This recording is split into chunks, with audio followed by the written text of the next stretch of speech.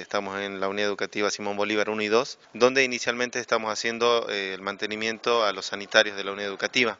Ya tenemos concluido una gran parte, faltan algunos detalles y lo que queremos es que evidentemente estén en óptimas condiciones el tema de los sanitarios de esta unidad educativa.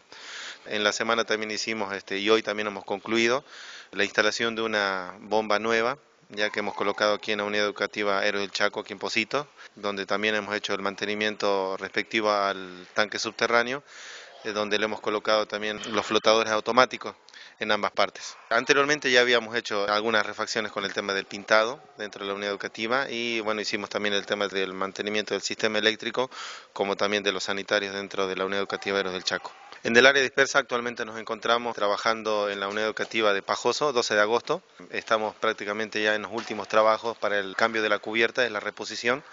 También eh, el día de mañana empezamos a hacer el colocado del cielo falso de PVC eh, dentro de la unidad educativa Yacuiba, donde también evidentemente la, Dirección de Educación está haciendo un aporte importante. Tenemos estimado que por lo menos nos va a llevar unos tres o cuatro días terminar esos trabajos. En Busuy, de acuerdo a las demandas de los padres de familia y por instrucción bueno, de nuestro honorable alcalde, eh, estamos realizando trabajos del tema del mantenimiento de los sanitarios, que bueno, ayer hemos concluido. Vamos a ir a ver una parte también que hemos quedado pendiente del sistema eléctrico. También tenemos otras refacciones que nos solicitaron y que lo vamos a hacer también en el transcurso de la semana para que, bueno, evidentemente haya conformidad también de los padres de familia.